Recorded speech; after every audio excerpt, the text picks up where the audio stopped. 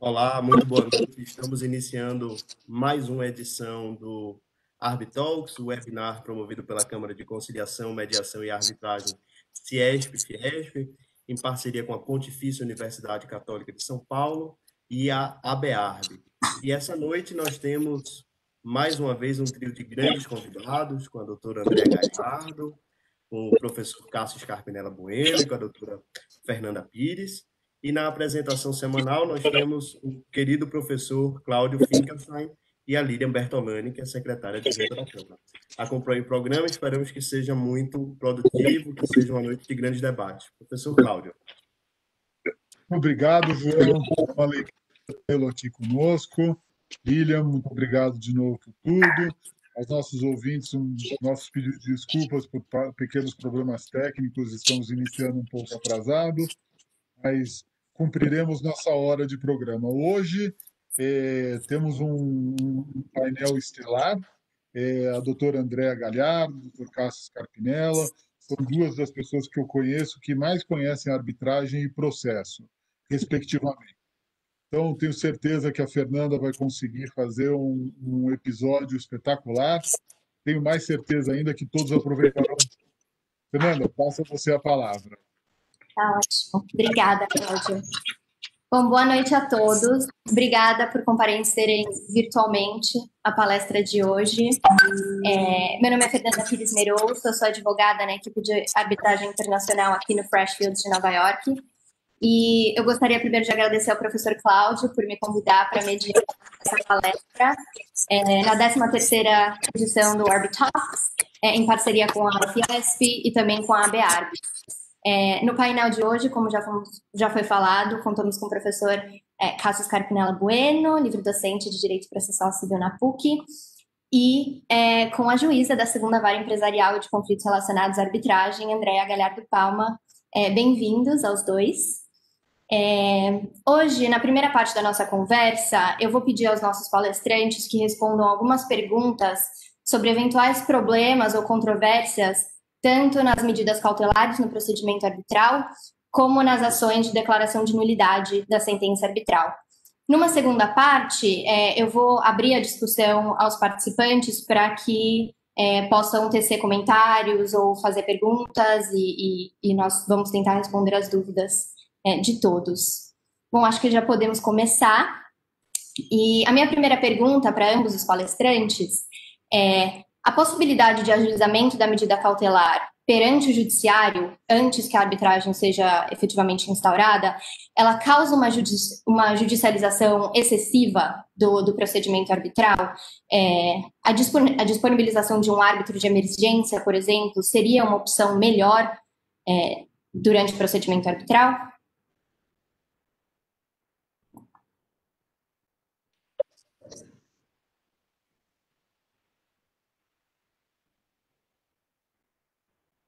Andréia, por favor, tenha a preferência.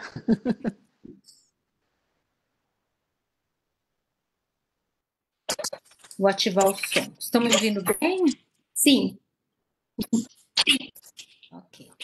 Então, primeiramente, eu quero agradecer a participação né, na pessoa do Cláudio, é, é, do pessoal da, da Fiesp, Ciesp, da Viab, dizer que é um prazer estar nesse ambiente acadêmico junto com vocês. É, quem me conhece sabe que eu sou fã dos MUTs, sempre quando eu posso, eu vou para Viena fazer, o, fazer minha parte como árbitra. E acho assim, é uma forma de também manter o conhecimento ativo sobre arbitragem, especialmente internacional, e agora na doméstica que eu tenho militado. Quanto à sua pergunta, Fernanda, é, realmente há, na minha visão, uma distorção do nosso sistema, né? por uma questão até estrutural. Né? É, a nossa lei de arbitragem, embora preveja a nossa atuação limitada às cautelas pré-arbitrais, o que acontece é que é muito mais barato ingressar com uma a tutela de urgência uh, no juízo do que buscar um árbitro de emergência. Um árbitro de emergência, além de demorar mais, é também mais caro em relação às custas que se paga para ingressar, especialmente em São Paulo, porque nós temos varas especializadas com juízes que conhecem a matéria e acabam apreciando de uma forma muito expedita essas tutelas de urgência com muita eficiência. Né? Então, na minha visão, quando eu faço um comparativo com a arbitragem internacional e você está em Nova York e sabe ver como funciona na prática, eles vão muito pouco ao judiciário, ou quase nada, é, buscar medida de urgência. Né? Então, nosso por quê? Porque demandar também no, na justiça americana é caríssimo, muito mais do que buscar uma negociação ou uma mediação ou mesmo a arbitragem. Então, há sim essa distorção, né, essa simetria que acaba fazendo com que nós tenhamos na, na, na justiça estatal uh, demandas que muitas vezes é, por apreciar uma tutela antecipada, onde se ingressa um pouco uh, no conteúdo do mérito, que vai ser, é, cujo juízo competente é o árbitro, acaba, às vezes, que uh, nós uh, adentramos numa seara que não nos pertence. Então, no meu caso, como juíza, eu tenho muita cautela no deferimento dessas tutelas antecipadas, tendo como um critério um pouco diferente da normalidade, o critério da real urgência. E se essa tutela não vai esvaziar a competência do árbitro ou tornar inútil a função do árbitro no procedimento arbitral.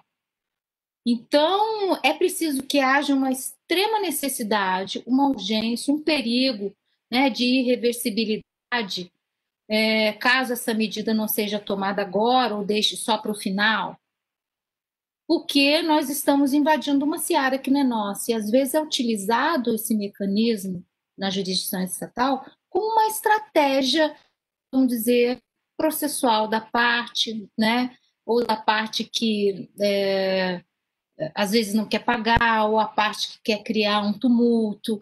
Então, nós temos muita cautela, inclusive com o diferencial, a gente recebe as tutelas de urgência como, ah, vamos dizer, no rito das cautelares antecedentes, de abrindo um pouquinho o contraditório para fazer com que a gente tenha um, um espectro maior da controvérsia, do pedido em relação às tutelas uh, de urgência, e, e, que possa também depois devolver todo esse conteúdo do que é apreciado em caso de deferimento para reapreciação do árbitro, né, que pode manter ou não. Então, essa cautela nós temos, e você está correta, é, é, uma, é uma, um desequilíbrio do nosso sistema, mas que é muito utilizado e aceito na nossa arbitragem doméstica. O que, na minha visão, poderia ser corrigido com uma simples alteração é, na lei de custas eu acho que isso ia mudar alguma coisa, ia ajustar um pouco o equilíbrio nessas questões e na, vamos dizer, na uh, tornar mais comum um hábito de urgência ou talvez não tão oneroso. Tem um detalhe que faz com que se busque também, aí eu já estou encerrando, a justiça estatal.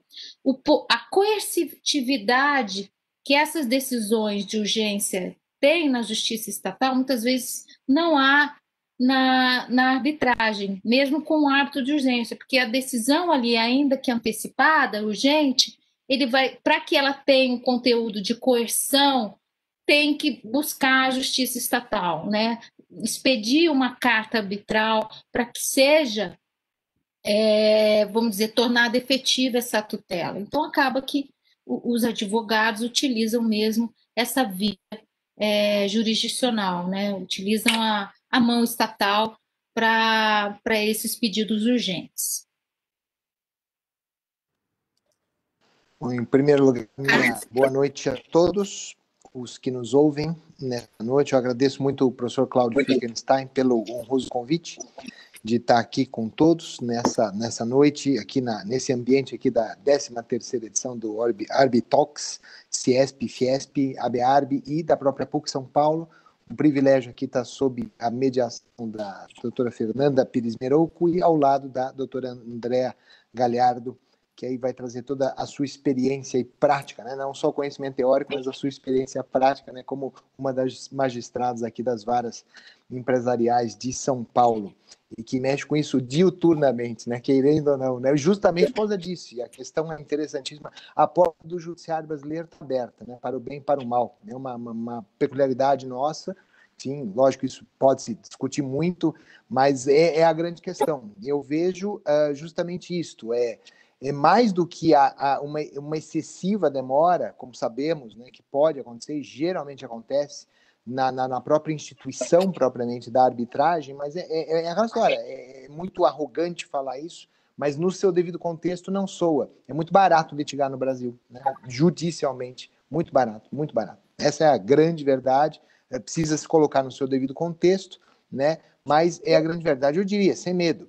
O correto seria eu ter uma cláusula arbitral, de alguma maneira, buscar mesmo uma medida de urgência perante a arbitragem. Então, o árbitro de emergência seria essa grande opção. Mas é aquela história, temos pouquíssimas experiências, pouquíssimas realidades práticas em relação a isso, talvez, diante desse caminho aí mais barato, né, ah, que existe para a arbitragem.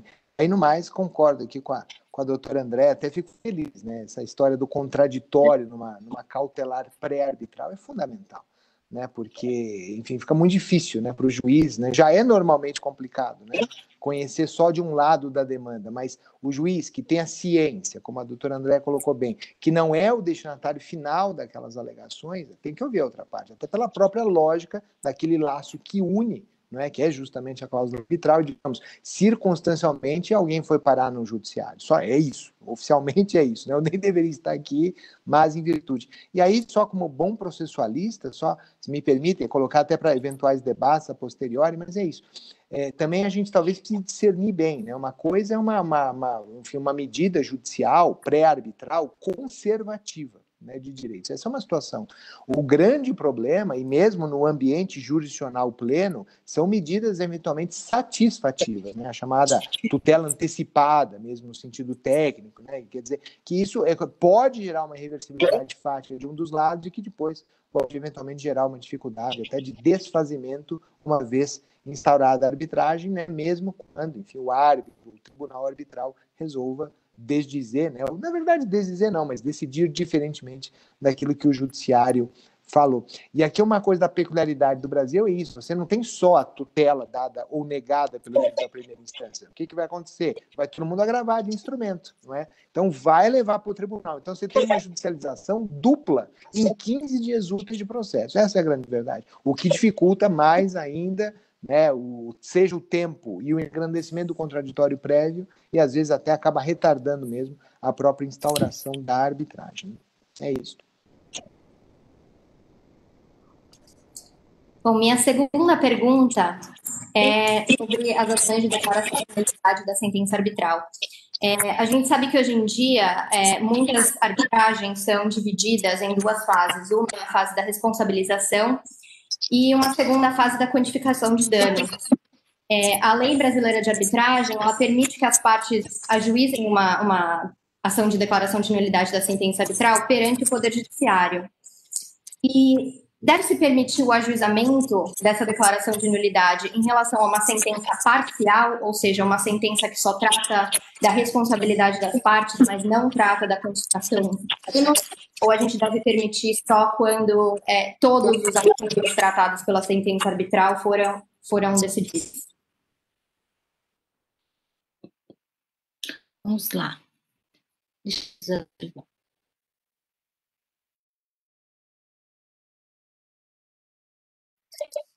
Ouvindo, Fernanda, tá me ouvindo? Ok. É, bom, já fica as premissas, né? A nossa atuação na justiça estatal, quanto às anulatórias, ela se restringe ao, ao formalismo da análise, né? A gente analisa do ponto de vista formal e legal se há um vício na sentença. Nós não invadimos, não fazemos revisão de mérito. Ora, se partiu do, do, da convenção arbitral, ou mesmo do termo de arbitragem, de que primeiro se, se iria decidir a questão relacionada à, à obrigação, à responsabilidade, para depois liquidar o dano, nós não intervimos a priori nessa estrutura. Então, a rigor, em tese, é possível fazer esse, essa análise da legalidade da, da primeira sentença, sem prejuízo de que, a, que da sentença parcial, sem prejuízo que seja analisado quanto de beato. Não é isso que uh, não é isso que está em jogo. Normalmente a gente analisa a formalidade dessa decisão, né? Geralmente as partes é, entram com um pedido, às vezes é cerceamento de defesa, às vezes é um vício formal na própria estrutura da sentença, ou alguma prova que não foi é, avaliada, ou contraditório. Então, depende muito da alegação, mas em tese, nada impede que a gente analise, por exemplo, uma alegação, ah, ah, um pedido de anulação dessa sentença parcial nada impede. Né? E eu não vejo tecnicamente dificuldade isso, nem a, a rigor impedimento de ordem processual. Uh, só que tem um, tem um detalhe, né? Depende muito da, da alegação, da sustentação. Por exemplo, nas varas empresariais, aqui, é, a, a, gente tem observado, desde a instalação das varas empresariais, que, o gro, que a roupagem que se coloca nas, no, nos pedidos de anulação geralmente é, é, invoca, por exemplo, que a decisão está fora dos limites da convenção de arbitragem, que há desrespeito do, dos princípios do contraditório, da imparcialidade, uh, ou de, de que emanou de que não podia ser árbitro, ou há uma falha no dispositivo da sentença, né, ou violações de cesseamento de defesa, depende muito da alegação, mas em tese eu posso analisar se aquela sentença parcial violou algum dos dispositivos, né, previstos no artigo inciso previsto no artigo 32 nós não interferimos na estrutura da convenção, nem no que foi pactuado no termo de arbitragem. Né? Nós não interferimos, a não ser que haja uma violação de legalidade, né? É, é, da, há uma extrapolação do que foi convencionado, né? por exemplo, se não foi convencionada essa bipartição, né? talvez isso possa ser um objeto, um objeto de análise Olha, nós não, não pactuamos isso, pactuamos o contrário, que não haveria essa cisão. Né? Então, é, doutor Cássio me corrija se processualmente a minha análise é essa, mas aqui a nossa, a, a nossa fácil no judiciário é assim, nós, nós anulamos muito pouco. Para vocês terem uma ideia, desde a instalação em 2015, né, 2015, deixa eu só checar aqui, 2000, 15 das varas empresariais da capital, 2017, dezembro de foram 80 ações anulatórias. E esse percentual né, de entrada de, das anulatórias, uh, a média de 95% de improcedência, ou mais, porque a gente interfere muito pouco na jurisdição do árbitro. Né? E às vezes a roupagem é de você vai analisar todo o conteúdo de como foi o procedimento do árbitro, né? as ordens processuais dadas, né? você verifica que foi fundamentado. Né? Isso fica uma grande dica aí para os árbitros, né? É, mesmo que for afastar uma prova ou dar uma condução da ordem processual, é, especificamente em relação à liquidação de. Fundamente o porquê não ou porquê sim, porque a gente leva muito em conta se houve essa fundamentação correta por parte do árbitro, correta no sentido assim, da legalidade, se não extrapolou a convenção, se observou o contraditório.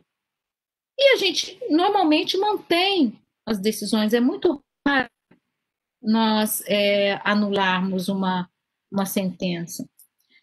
É, eu dou como exemplo, nas pequenas câmaras tem ocorrido, às vezes, alguns problemas relacionados a pequenas câmaras, eu digo assim, envolvidas nesses contratos de locação. Então, a gente pegou muitos casos de, de, de contratos de locação onde há, havia vício formal, falta de citação, ou mesmo de anuência do, dessa convenção, expressa dessa convenção, ou ainda o próprio impedimento do árbitro, o próprio, a própria pessoa que, que vamos dizer, que subscreve ali o contrato, né, o dono da imobiliária, o próprio dono da imobiliária passou, passava a ser árbitro, tem algumas imobiliárias verdadeiras câmaras, então isso, isso foi objeto de, de anulação, é, de apreciação de tutela também de urgência, em caso de, de, de, porque não havia citação, onde foi deferida excepcionalmente uma tutela de urgência para suspender os efeitos daquela sentença, porque a ilegalidade ela era flagrante. Né? Então, em tese, sentença parcial é possível nessa situação que você colocou.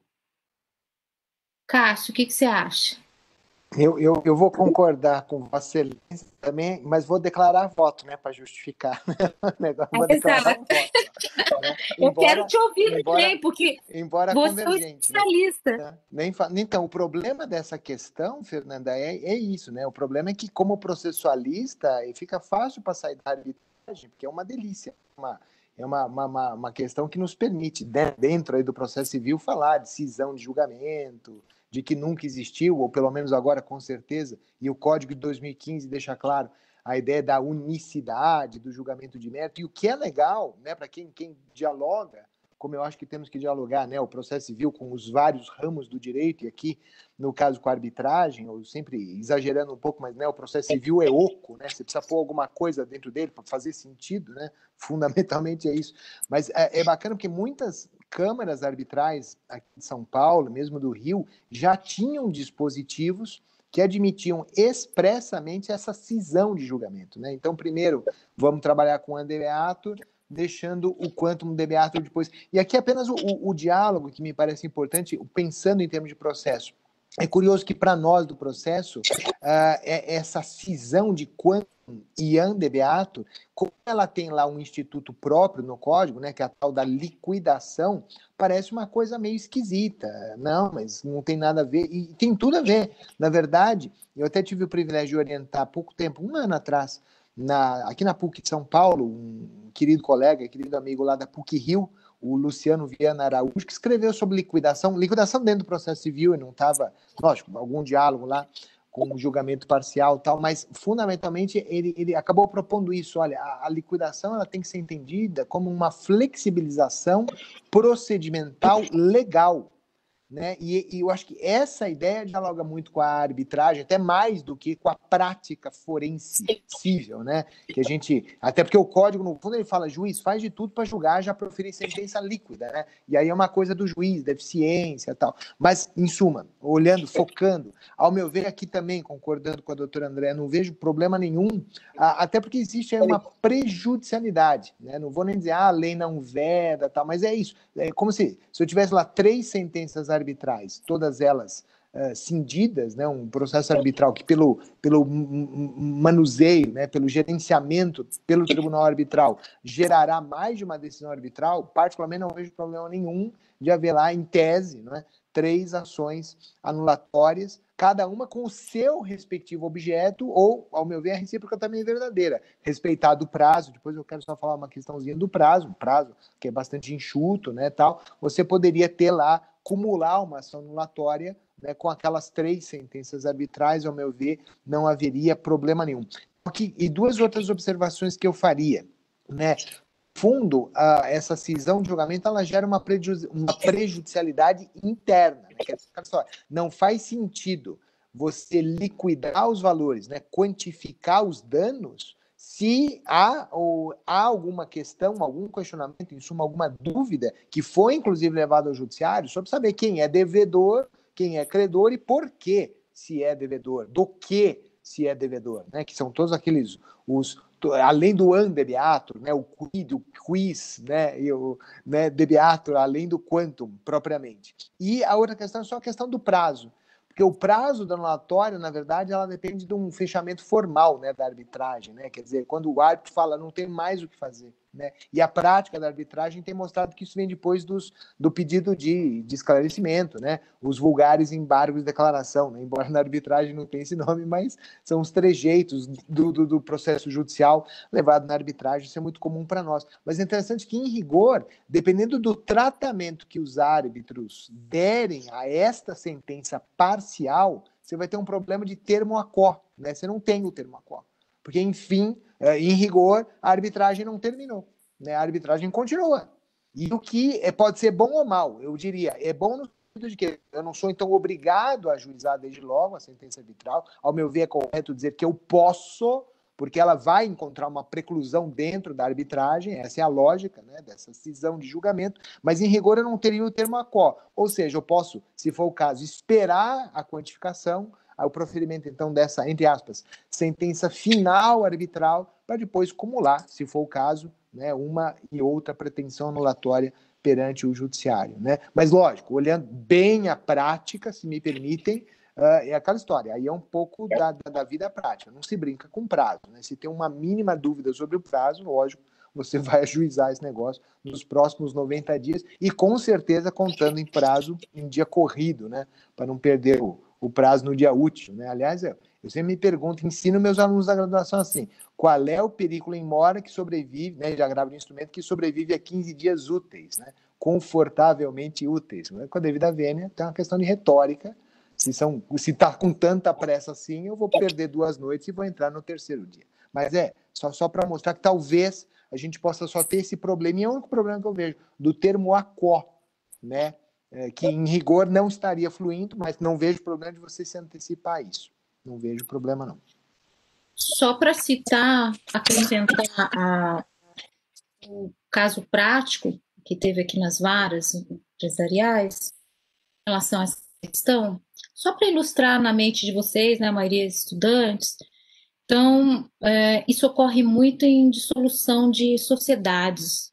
Pegamos um caso de sociedade é, em conta, sociedade de propósito, né, na área de construção, e eles, em um determinado momento, começaram a, a vamos dizer, é, se desentender e, entraram, tinham cláusula arbitral, entraram para resolver essa disputa societária e resolveram cindir mesmo. E ficou essa segunda fase para apuração dos haveres. Isso é muito comum depois para deixar para apurar os haveres e eles entraram, uma das partes entraram para discutir essa questão. Olha, não estava, nós não pactuamos a questão da apuração dos haveres, mas era, era uma consequência lógica de solução. Né?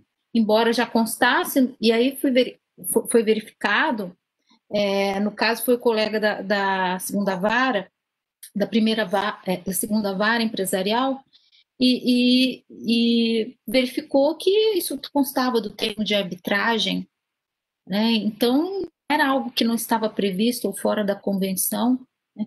só que a forma de apuração de haveres o árbitro estaria dentro da jurisdição do árbitro. Então, como diz o Cássio, suspendeu por hora essa apuração de haveres por uma questão prejudicial, né, uma questão óbvia, para se decidir primeiro essa questão na no Justiça Estatal, esperar, né, tecnicamente, e uh, como não como já era esperado, foi mantida a, a, a, a sentença inicial, né? E conhecido a, a questão da possibilidade de, de, se liquidar em apuração nessa segunda fase, uma consequência lógica, forma, designando inclusive perito, e, e a justiça referendou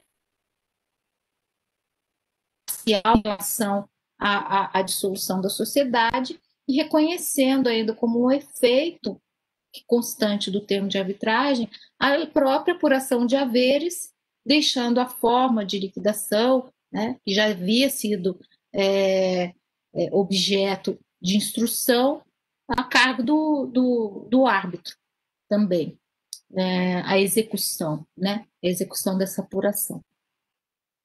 Isso para ilustrar como é possível, é muito recorrente a, da separação, principalmente nas disputas societárias. Perfeito. É, a doutora André citou as circunstâncias limitadas em que se pode anular a sentença arbitral perante o judiciário. E eu queria perguntar, é, em relação à lei de arbitragem, que afirma que a sentença arbitral será nula se for nula a convenção de arbitragem em si. É, se o árbitro ou o tribunal arbitral, no decorrer do procedimento, decide pela validade da convenção de arbitragem, pode e deve o Poder Judiciário discordar desse entendimento numa ação anulatória futura? E se a resposta for afirmativa, qual é o peso que o entendimento do tribunal carrega é, numa ação anulatória? Olha, o deve não, pode, porque a, a parte pode tentar rediscutir a questão da existência mesmo é, é, é, dessa convenção, ou se a decisão, como eu disse, foi fora dos limites da convenção, da validade dessa convenção, né? Obviamente, o árbitro tem competência para analisar a validade né, até da sua a legitimidade da sua atuação, ou mesmo a validade da cláusula, mas nada impede que isso seja levado à jurisdição estatal para uma análise formal. Então, a análise, novamente, vai ser do ponto de vista legal e formal. Pode ser ou não, a, o, grande, a, o grande fundamento, a grande importância de, de, de ter o cuidado na escolha é, da lei da arbitragem, a lex arbitri, é que você vai se relacionar com o ordenamento nacional, com a corte nacional da, do local onde foi escolhido a lei da arbitragem. No caso brasileiro, nós fazemos uma análise é, formal é, da validade dessa convenção. Isso gera um impacto muito importante, Fernanda, você que está aí lidando com a arbitragem internacional, porque uma vez que está em discussão a própria validade da convenção, é, esse reconhecimento de uma sentença arbitral estrangeira, utilizando fora do país, ou mesmo uh, a sua execução fora do país, de acordo com a New York Convention, pode ser barrado. Né? Salvo engano, eu até deixei, eu sabia que você ia fazer essa questão, então eu deixei meio que pra, preparadinho aqui o, o, o artigo 5 é, a letra A e também é, a, o, o, o, número dois, né? Que fala que é possível, né? É, é, não vai ser, pode não ser reconhecido, pode não ser executado a, a, a, a sentença estrangeira se houver discussão com, com a, a, a, primeiro, a capacidade das partes, a validade do agreement. Você conhece, está aí estudando, sabe a importância da discussão de, é, dessas questões de validade, a capacidade, a competência do, do, do árbitro, né, é, para efeito de execução no exterior. Então, essa, essa questão pode ser rediscutida, pode ser reavaliada pela Justiça de acordo com a nossa lei brasileira, uma vez é, tratando-se de arbitragem doméstica ou se for arbitragem internacional, escolhido o, o, o país como sede da, da, da, arbitragem, escolhida a lei brasileira como a lei da arbitragem, pode ser levado sim, porque, vamos dizer, pode ser que o árbitro é, tenha uma apreciação talvez equivocada da, da, da questão da validade.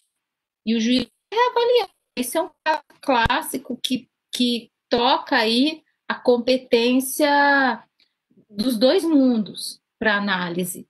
Mas, de novo, a nossa análise é sempre é, excepcional e limitada à, à, à, real existência de uma ilegalidade flagrante. Tivemos um caso é, também, torna nesses casos de locação online, é, que se discutia, uh, não estava a existência da convenção de arbitragem, e foi uh, uh, isso foi levantado do próprio procedimento arbitral, o árbitro é, indeferiu e a parte entrou com anulatória, pedindo um, um, é, em tutela de urgência suspensão dos efeitos. E, realmente, como, como eu disse, foi, foi reconhecido. São casos raros, mas existem. Existem e, e é possível. E o efeito prático fins internacionais, já que você está em Nova York, eu estou fazendo esse cuidado de fazer um juízo comparativo né, dessa situação da arbitragem internacional, é justamente porque se você tentar executar, anular, você só pode anular na sede da lei onde foi proferida essa sentença. Só pode, em tese, por exemplo, anular no Brasil. Mas você pode tentar executar essa sentença em Nova York. Você pode tentar executar ela na Ásia. Mas aí, se levantado isso, olha, peraí, tem uma discussão de validade dessa convenção está sendo discutida a validade da ação no juízo competente, no juízo da sentença. Pode não ser, é, não, não, não seguir esse reconhecimento e pode não ser reconhecido nem executada essa sentença lá fora por conta dessa relação que nós temos, esse, é, essa integração que a New York Convention tem com os países subscritores é, dela. E o Brasil é um dos subscritores. Então é muito interessante é, o efeito é, extraterritorial que, que essas decisões têm, né? e as nossas também. Por isso, o cuidado da escolha e qual, qual lei de arbitragem, qual vai ser a lex arbitre, qual vai ser, a, vamos dizer, a sede local da arbitragem, não digo a sede física da instrução, mas o local onde você vai escolher para ser prolatada a sentença, tem um impacto imenso na, nesses efeitos para reconhecimento, para execução, mesmo para anulação. Essa é a minha conclusão. O que, que você acha, Carlos? Aqui também vou, vou, vou declarar convergente, né? Só, só é aquela se me permitem, né, até, é, é aquela pode o judiciário né, é, desdizer, né, ou seja, decidir em sentido contrário do que os árbitros eventualmente decidiram sobre a, a, a nulidade da convenção, né? Ao meu ver, aquela história, é, só, só para deixar claro, ao meu ver, sim, a resposta é positiva, mas não de ofício, né? E isso é, é coisa de processualista, quer dizer, não é que eu entro lá com uma, uma anulatória de sentença arbitral, né, e o juiz passando os olhos lá, ele fala, olha, Ó, além do pedido que você fez, que você está pedindo aqui, por exemplo, para invalidar por causa de uma violação da, de princípio, mas eu estou vendo também que a convenção arbitral é nula, então eu vou acolher por esse fundamento, não por aquele. Ao meu ver, isso não é possível, né? porque aí é aquela só, o juiz está vinculado ao pedido, até dentro da lógica de toda a arbitragem, justamente isso que a doutora André está falando, ao meu ver, absolutamente corretamente, de uma forma muito clara, muito didática e absolutamente de acordo. Quer dizer, a, a, a atividade judicante, né, no caso da arbitragem, a revisão, né, o controle jurisdicional da arbitragem, ela é apequenada, né? ela nunca é de mérito, ela é formal, e aí todos os cuidados são poucos né, para essa, digamos, detectação de ofício. Fosse uma outra atividade, uma sentença judicial, aí o tribunal, em grau de recurso, dentro do judiciário, detecta de ofício lá um vício, declara é outra história. Então, meu ver, isso tem que pedir, né? E nos limites do pedido, poderei. E aí, aquela história, no fundo, não, o, né, o árbitro não tem a última palavra sobre algumas questões, são justamente as questões que, de acordo com o artigo 32, 21, cabe a ação anulatória no Brasil, né?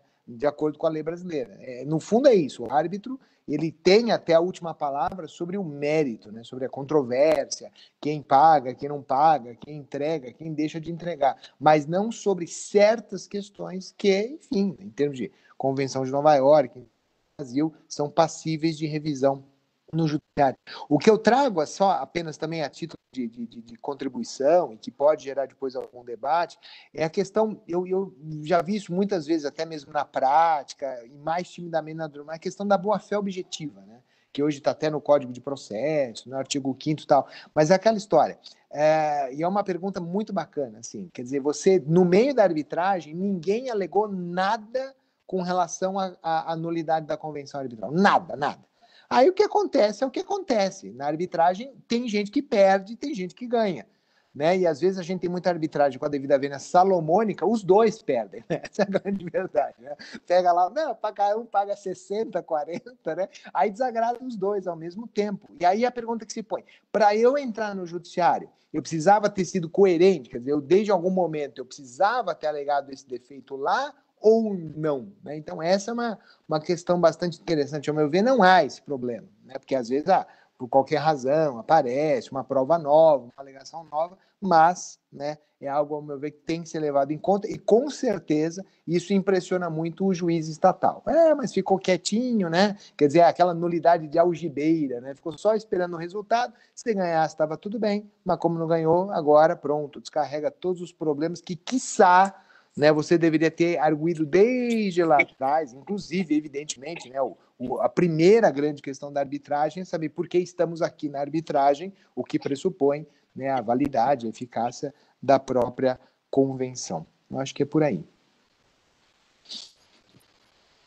Tivemos uma pergunta de um participante, é o seguinte: cabe ação anulatória também contra a decisão do árbitro que nega a sua própria jurisdição para decidir uma disputa ou cabe apenas contra a decisão arbitral confirmatória é, da sua própria jurisdição, de acordo com a cláusula arbitral? Seria uma pergunta para forçar a arbitragem, é isso? Isso, exatamente. Se o árbitro decidir que não tem jurisdição de acordo com a cláusula arbitral, cabe uma anulatória em relação a essa decisão? Eu entendo que não, se ele está reconhecendo que ele não tem, a, a, a, competência, acho muito difícil a gente dizer assim, olha, não julgue, porque é você que é o hábito da decisão. É. Eu acho, eu não peguei um caso desse, tá? Nunca peguei. Porque nós só interferimos na hipótese contrária, né? Mas nessa, vamos dizer, acho um pouco sui generis. Preciso pensar se isso tecnicamente é possível, mas Imagine só você dizendo, olha, eu não, eu não tenho competência para analisar isso. Você entra com uma ação, quer dizer, entra com uma ação para obrigar o árbitro a decidir. Acho. Eu nunca vi, nem fora, nem aqui, é, vamos dizer, no ambiente estatal, essa discussão. Então, fica assim, é, em aberto para mim essa questão.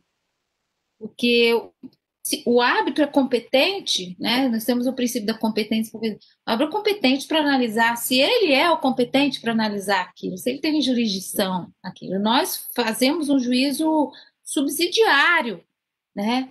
É, dessa análise da competência. Né? Você fala só, não tem competência, porque essa é uma questão de arbitrabilidade objetiva. Foge, não está previsto. Né? Aliás, a arbitrabilidade objetiva também está previsto na Convenção de Nova York.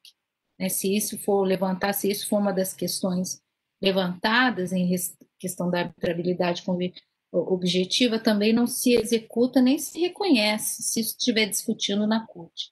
Mas, uh, em geral, é a competência originária do árbitro analisar. Se ele fala, olha, eu não sou competente, nós, nós da Justiça Estatal tendemos a validar esse entendimento, né? Em que pega a existência da convenção, lógico, nós vamos analisar com muita cautela a questão da convenção a arbitral que foi pactuado na convenção, porque é da convenção, é, é, é da convenção é da convenção que surge a legitimidade do árbitro para decidir, a jurisdição do árbitro, decorre dessa autonomia vontade. Eu escolho e limito o conteúdo, o escopo da arbitragem. Então, em tese, o árbitro diz, olha, não, não sou competente para analisar isso. a, a, tendência é a gente referendar a posição do árbitro, mas nada impede, do ponto de vista processual, que seja relevado a nós, né? Pedir, pode se pedir, tentar levar o judiciário, nós estamos de porta, portas abertas para analisar, mas se vai ser acolhido, né, é outra coisa. A, a minha cachorrinha resolveu latir na, na hora da, ela quer dar uma participação especial aqui, eu peço desculpa na hora da explicação. Mas em tese é isso. Não sei qual a sua opinião, Cássio. Acho que aí prevalece bem né, o famoso princípio competência, competência, que é o árbitro. Falou que não, é não, né? acabou. O que eu penso, talvez, em termos muito pragmáticos, se as pessoas querem tanto ir para a arbitragem e encontram lá algum óbice numa específica Câmara, o Tribunal Arbitral, com um específico árbitro, ou quiçá ah, reconheceram lá, né, a própria, os próprios árbitros reconheceram algum vício na convenção, mas se as pessoas querem tanto, celebrem um novo negócio jurídico. Eu acho que é até mais barato, mais eficiente, né, mais racional dentro da lógica. Agora, e pedir para o judiciário, falar, se obriga o cara a fazer uma coisa que eu não preciso, eu não preciso da intervenção judicial para ir para a arbitragem. Então, né, talvez até uma falta de interesse processual mesmo. Agora, lógico, cada caso é um caso, é evidente, e sei lá, de repente até pensando, né, né, um caso concreto que possa aparecer, né? mas aí talvez é aquela história de você ter que obrigar alguém para ir para a arbitragem, mas daí não é que o árbitro não disse, é a outra parte que se recusa, mas daí é o artigo 7 da lei, aí eu não vejo muita, muita dificuldade. O que talvez essa questão que seja, é, é bem interessante também porque ela permite isso. Vamos imaginar né, que fosse possível, que a gente tivesse de acordo, que eu pudesse dedurar isso para o árbitro estatal, e o árbitro estatal não. Você vai mesmo para a arbitragem. Bom, aí se põe um problema interessante. Mas esse árbitro que recusou a arbitragem teria é, imparcialidade para julgar, né? Para ser, ao meu ver, não, né? Ele já disse que não quer. Como é que fica, fica complexo isso, né? É diferente da, da suspeição, do impedimento do juiz, porque é, é, é não é pessoalizada a justiça estatal, né? A, a justiça arbitral ela acaba sendo muito pessoalizada, sim, institucionalizada no primeiro momento, mas depois personificada né? Assim como a justiça estatal, mas é muito diferente, né? Porque ah, a doutora André não pode participar, mas tem lá um substituto legal, a prioristicamente lá, que pode e vai julgar no lugar dela. Se não puder nem o substituto, tem um terceiro, tem um quarto substituto, não importa quem. Chama o juiz criminal lá, se precisar numa comarca pequena para julgar o cível, e assim funciona, né? Então, acho que é, também dá esse, esse, esse desdobramento bem interessante, mas em rigor, se o árbitro diz que não, ou as partes se arrumam uma nova convenção, ou se conformam e vão lá ao judiciário. Quiçá não se arrependem, vai custar menos, com certeza.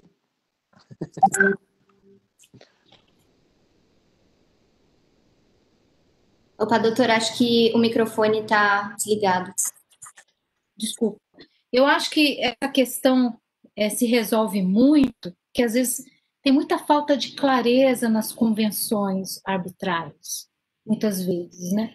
Então, o, a, o, a convenção arbitral, a cláusula arbitral, quanto mais cheia, é, definindo o escopo, é, todo, aliás, to, você está aí em, em Nova York, você vê que as cláusulas, os americanos têm o hábito de preencher muito as cláusulas arbitrais, inclusive eles têm o hábito de colocar até questões relacionadas se eventual qual prova será é, utilizada, né, se, em caso de arbitragem, que tipo de arbitragem vai ser, se é fast track, se não é. Então, os americanos enchem bastante o conteúdo, se aquilo vai se versar sobre todo o contrato parte do contrato, né, se vai atingir é, é, os contratos acessórios ou não. Então, esse cuidado na, define a escolha do ar, que tipo de árbitro vai ser, né? É, quantos árbitros, qual câmara. Então, o preenchimento, quanto maior o preenchimento e mais claro da cláusula, mais fácil de se definir também a, a, o tipo de arbitragem, o tipo de árbitro. Né? Então, eu acho que isso é o X da questão né, a, o, o, conteúdo e a clareza dessas pactuações né, e do árbitro que será escolhido. Perfeito. É, acho que a gente ainda tem 10 minutinhos, então eu vou fazer uma última pergunta. É, a lei brasileira de arbitragem, ela também afirma que a sentença arbitral pode ser anulada quando não forem respeitados os princípios do contraditório, da igualdade é, das partes, da imparcialidade do árbitro, é, etc. É, o Poder Judiciário ele deve resguardar esses princípios é, com a mesma veemência que ele guarda no, no, numa ação ordinária? Por exemplo, a gente deve é, transplantar é, as circunstâncias de imparcialidade do CPC para a lei de arbitragem? Deve haver uma, uma flexibilização desses princípios na ação anulatória? Fernanda, eu não gosto muito dessa, é, vamos dizer, de transplantar o CPC para a arbitragem. Eu acho que isso daí é, tem que ser separado, né? Porque, por exemplo, o estándar da, da arbitragem em relação especialmente à imparcialidade do árbitro, né? o disclosure, o dever de revelação, é, é muito maior, porque eu estou, é, na verdade, o árbitro a competência do árbitro decorre de uma autonomia de vontade, de uma confiança das partes naquele, naquele, naquele na escolha daquele árbitro. Então, os estándares são diferentes. Então, não diria que a expressão nossa que nós devemos guardar. O nosso olhar é, é um olhar é, legal e formal sobre esse aspecto. Se aquilo foi efetivamente é, vamos dizer, observado, se foi o contraditório observado, se aquela imparcialidade existe realmente como um, um terceiro neutro que não tem nenhuma ligação com as partes, né, de, de do ponto de vista é, uh, de interesse na causa. É óbvio que a gente, como a própria lei de arbitragem faz um raciocínio muito similar dos estándares de imparcialidade, de impedimento judiciais, mas, na minha visão, o artigo, o artigo 14 também fala na questão do dever de revelação, o estándar ainda é maior, porque na medida em que eu escolho livre, eu preciso ter uma. A minha escolha livre parte dessa, uh, vamos dizer, dessa clareza, dessa revelação por parte do árbitro. Isso agora tem sido também entendimento da, do tribunal, a partir de um caso recente que tivemos, de que esse disclosure é um estándar a mais no critério de, de imparcialidade. Então, esse, essa expressão deve guardar é, não seria é, é, tão tão adequada, nós é, efetivamente analisamos se esse estándar foi observado é, pelo árbitro, porque na medida em que há liberdade de contratar, né, eu tenho que ter uma liberdade de contratar e também saber se eu quero contratar um árbitro que de repente teve uma ligação anterior ou se está no mesmo procedimento arbitral, é, numa parte, em uma situação semelhante, ou com a parte em outro procedimento. Né? Então, essa questão é muito importante. Nós, sim, observamos isso, posso dizer que é raro a gente fazer esse acolhimento, só em casos flagrantes, assim, de, de, de violação da imparcialidade, como eu citei aquele caso no, no contrato de locação, onde o mesmo onde o contratante também passou a ser o, o dono da imobiliária era o próprio árbitro da, da, do procedimento arbitral, que tinha ali uma câmara já de arbitragem. Isso daí é, é evidente, essa é uma análise muito simples de fazer. Né? É, já a questão do dever né, de revelação ou de omitir determinadas circunstâncias que possam afetar a imparcialidade, isso também é um critério um pouquinho mais é, subjetivo, mas que tem que analisar todo o conteúdo do procedimento. Mas nós fazemos sim um juízo formal se essa análise, se esse cuidado foi observado pelo árbitro em fazer o disclosure em tempo, no, no, no, na primeira oportunidade que ele teve, de, de, de, falar a respeito, olha, já atuei nesses tipos de caso, ou é, recebi uma proposta para atuar nesse tipo de caso, ou outros detalhes relacionados a, a, a, ao dever de revelação. Então, o critério não é só do CPC. Por que eu falo isso? Porque muitas vezes no Brasil, esses contratos, né, que até tem às vezes um, são contratos às vezes até internacionais, mas escolhe por exemplo, o Brasil como sede, também tem alguns estándares importantes que é muito utilizado na arbitragem, né? Que são os estándares do IBA Guidelines, né? Que é até muito mais amplo. Então, não é, mas não, não se aplica só, vamos dizer, o estándar que está ali na lei de arbitragem, né? E o CPC, né? o estándar é muito maior.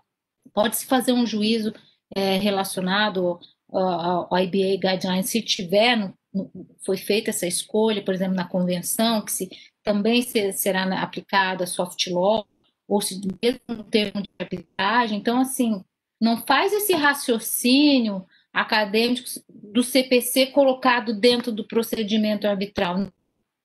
O CPC é, faz ali, faz uma menção ao CPC caso de, dos casos de impedimento relacionado ao juiz, mas eu penso que o standard é muito mais rigoroso do que, do que o nosso, por conta da autonomia da vontade e da liberdade que as partes têm de contratar, e essa liberdade na contrapartida né, envolve uma transparência, um dever de transparência, de revelação do apto, de que, olha, sou isento disso, mas eu já atuei nisso. Né?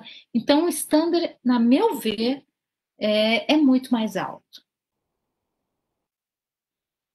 Aqui no vencedor também, mas é, é só, eu, eu, concordo muito com essa observação da doutora Andréa, uh, e, e, como processualista eu fico muito à vontade de falar, né? A gente não pode, não deve levar os cacuetes, as preocupações do processo civil, da dogmática do processo, para dentro da da arbitragem. Aliás, engana-se né, quem vai achar que vai encontrar na arbitragem um monte de processualista falando como processualista, se comportando como processualista. Muito pelo contrário. Né? Mas, né, olhando assim especificamente o contraditório, é o que eu digo aí, até tendo presente a, enfim, a própria lógica né, da, da, da, da, nossa lei de arbitragem, enfim, a possibilidade de invalidação estatal da sentença arbitral por violação a determinadas questões do contraditório, aí eu, eu, eu diria, aí o contraditório ele é ineliminável, né? Aí é o que eu digo, aí eu, eu não vejo ele nem flexibilizado dentro do processo estatal, nem no processo, permito-me dizer, administrativo, e também não vejo a possibilidade de flexibilizá-lo num processo arbitral, né? E, e, digo, eu sou um daqueles que, inclusive, não é de hoje, vem sustentando, inclusive, que o contraditório é insto até mesmo a atividades privadas, efetivamente privadas, né, onde existe algum tipo de acusação, algum tipo de eliminação, por exemplo, clubes, etc e tal, né, um direito fundamental mesmo. Então, acho que não dá para transigir. O que acontece é que os bons árbitros, as boas instituições arbitrais são sempre por definição, muito cautelosas com isso, né? Sempre pergunta, afirma, né? Transcreve em ata, filma, né? Hoje em dia é tudo filmado, gravado, tá? Olha, tem certeza, não quer mesmo ouvir, né? Não, então tá bom, então escreva aí. Ó, você tá abrindo mão, então, é você que tá abrindo mão, né? Então tá bom, pra, justamente para evitar esse tipo de coisa, mas imaginando, né? Ah, essa, só, só cuidar, né? Uma coisa é flexibilizar, né? A um procedimento. Isso é, é desejável até no ambiente estatal, né? Mas isso é uma coisa. Agora, descurado contraditório, aí é outra. Então, em suma, mesmo por mais, digamos, informal que seja a arbitragem, é um informal em termos, né? É um informal diferente, né? É, mas é um outro ambiente, né? mais eficiente, tal. Enfim, a gente vai lá, serve Nespresso, aqui no Brasil, né? É, aí em Nova York deve servir donuts, né? Deve servir Starbucks. Na minha, coisas, sala, na minha mas... sala tem expresso, tá, Cássio? Não okay, vem não. Mas aí então, eu preciso despachar, mas agora o fórum tá fechado. Né? Quando abrir, eu vou aí. Vou tomar levo um livro e ainda tomo um expresso com muito prazer. Verdade. Mas brincadeiras à parte, né? É essa história. Não dá para é, flexibilizar no sentido de usurpar o contraditório. Ao meu ver, isso é, é, é inviável e vai gerar, se acontecer, pelo menos uma alegação fidedigna que pode levar a uma eh, invalidação né, estatal da sentença arbitral. Fica a promessa, posso... reabrindo os fóruns, eu vou aí. Hein? Vou lá no central. Eu, posso, eu vou complementar e dizer, é, dizer uma coisa que é, a arbitragem brasileira, nas, essas, é, pelo menos que eu, que eu tenho visto, é, é, é muito, eu acho assim que eu, na maioria dos casos em que se alega a violência ao contraditório, a, vamos dizer, a convenção, ao, ao princípio do cerceamento e defesa, é, isso daí em 90, vamos dizer, mais de 95% dos casos, eu arriscaria 98% dos casos do que eu fiz de um levantamento por amostragem das causas é, é rechaçado na justiça. Né? Quer dizer que a arbitragem brasileira é muito cuidadosa, né? os árbitros são muito competentes, né? em sua imensa maioria, tem um cuidado extremo com o contraditório, com a forma que vai ser produzida a prova, né? inclusive tem um cuidado com essas ordens processuais, até estendem um pouco mais o contraditório, né? É, inclusive após as alegações finais, para evitar problema. É, eu acho e posso dizer seguramente que é raríssimo um caso de, de, de violação, de reconhecimento de violação do contraditório ou do cerceamento de defesas são muitas. Entram com pedido, a roupagem é essa: violou contraditório, cessou a defesa, deferiu uma prova e rechaçou outra, ah, não precisa de perícia, só deferiu a perícia, não deferiu a prova oral. Mas quando se vai analisar o fundamento, todo o procedimento que é remetido para a gente analisar, se verifica que foi fundamentado, devidamente fundamentado, o porquê de rechaçado é, né, e que foi observado contraditório, sim. Então, eu posso dizer que a arbitragem doméstica anda muito bem, nossos árbitros são muito preparados, competentes e com uma expertise altíssima, muito mais que nós, juízes estatais, porque a gente acaba fazendo uma espécie de clínica geral.